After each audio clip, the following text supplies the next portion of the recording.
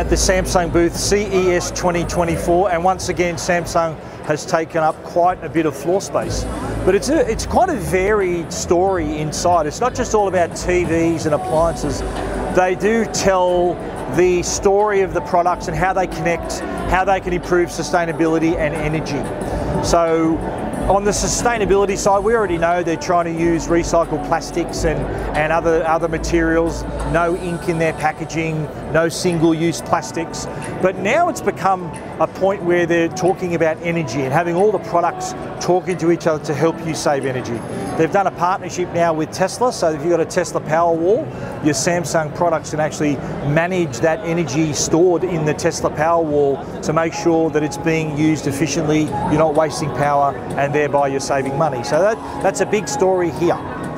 Connectivity is a huge part of the Samsung story, as is AI. And the connectivity, when it meets AI, that comes up with all these amazing results. SmartThings, again, is a, a huge connection for all kinds of products because you've got to remember, Matter is the platform that unites all different brands of smart products and SmartThings can manage and onboard all of those devices. In fact, they do have an onboarding process where if a new smart device is connected to your network, SmartThings will detect it and ask you if you want to onboard that product. But now with SmartThings and the use of AI, you're getting all these various scenarios where you can you can be told when you're using too much energy, when you do need to do various other things in your house, the house is too warm or too cold.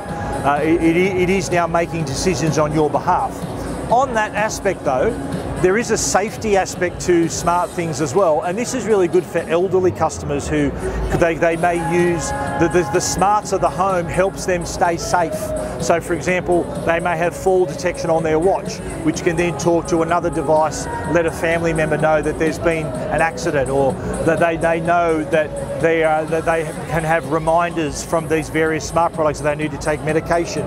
They've got a, a doctor's appointment. So all in all, the, the smart idea of a smart home isn't just for convenience, it's now for saving energy, but also too for staying safe and keeping the elderly, elderly members of our community in their homes for longer. Gaming is massive and Samsung realised this and on the stand we saw plenty of ways you can play your games including through the Freestyle projector which now has a gaming hub built in. We also saw as well their new OLED flat screen monitor which is ideal for gaming as well but there is a really cool application of their massive wraparound Odyssey monitor. We did see it mounted on a racing chair. So if you're into your racing games, this is an ideal scenario. Now one technology that Samsung's had for quite a few years and they've improved it even further is micro LED. Still very much a commercial product. It is ideal for for shops, shop fronts, lobbies, various other uses like that. Quality is amazing. But one thing they did showcase on the stand was a new transparent micro LED. And they did give a great example of how it could be used. So imagine yourself in a corporate box watching a sporting event the glass of the of the box is actually micro LED and able to display stats and information about the game you're watching. That's just one of many applications for a transparent micro LED panel that will no doubt we'll be seeing in stores and in other venues and stadiums around the world. Of course, we can't forget Samsung's bread and butter, their hero TV is their Neo QLED range. And again, this year, AI is the buzzword and AI is the technology that will improve them even further. Improving them through upscaling. AI is brought in to make the image you're looking at even better in 8K. Because you've got to remember, not a lot of 8K native content around. So what they do is they use this AI library and AI intelligence to be able to render objects in AI to make them look better than ever before. Now on the appliance side, Samsung has got a fair bit to talk about here on the stand as well, and it starts with their smart hub. Their refrigerator uh, is now enabled with AI.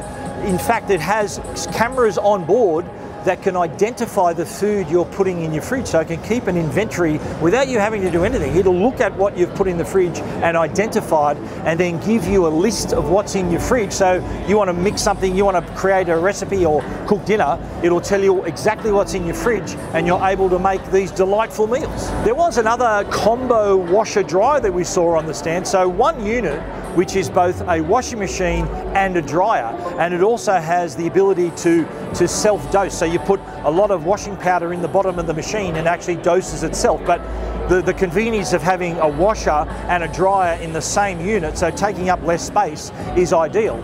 There's also a large screen on board as well, so not only will you see all the information about your wash and the dry, but you'll also see notifications if someone's at the front door, all these other things, the, the meal's ready in your, in your kitchen. You'll see all that information in that product as well.